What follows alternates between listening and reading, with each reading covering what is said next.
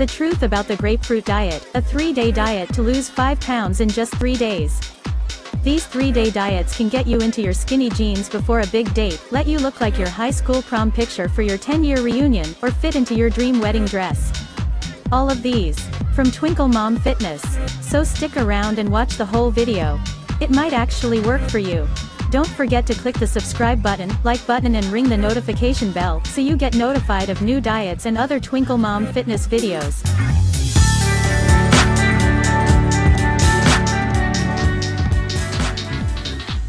Three-day diets are fad diets that promise that you will lose a small amount of weight, usually about 5 pounds, in just 3 days.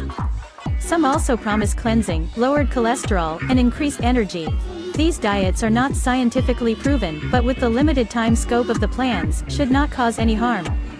You can actually lose some weight with 3-day diets. Don't expect to have long-term weight loss with the various 3-day diets.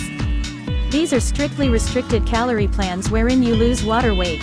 They're great if you have an upcoming event such as a wedding or reunion to attend.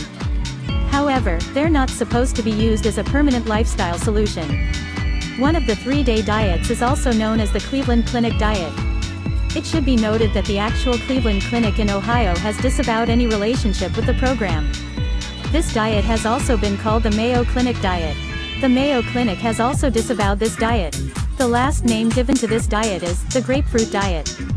The reason this is called the grapefruit diet is because you eat one half a grapefruit or 4 ounces of grapefruit juice with each meal. If you eat the grapefruit in its natural state and dig into the rind, you will actually get 6 grams of fiber. It is recommended that people get 25 grams of fiber a day and dieters may want to push that to 30 to 35. Eating this much grapefruit may help you in your way.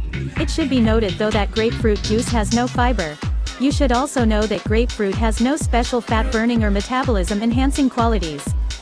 It's simply a fruit that is good for you just like apples and oranges. The three-day diets take advantage of this fact and turn it into a gimmick. Now here is the real three-day diet. The three-day diets work in part because they are very low-calorie programs. Breakfast might include an egg, a slice of dry toast, and a banana, a total of 200 calories.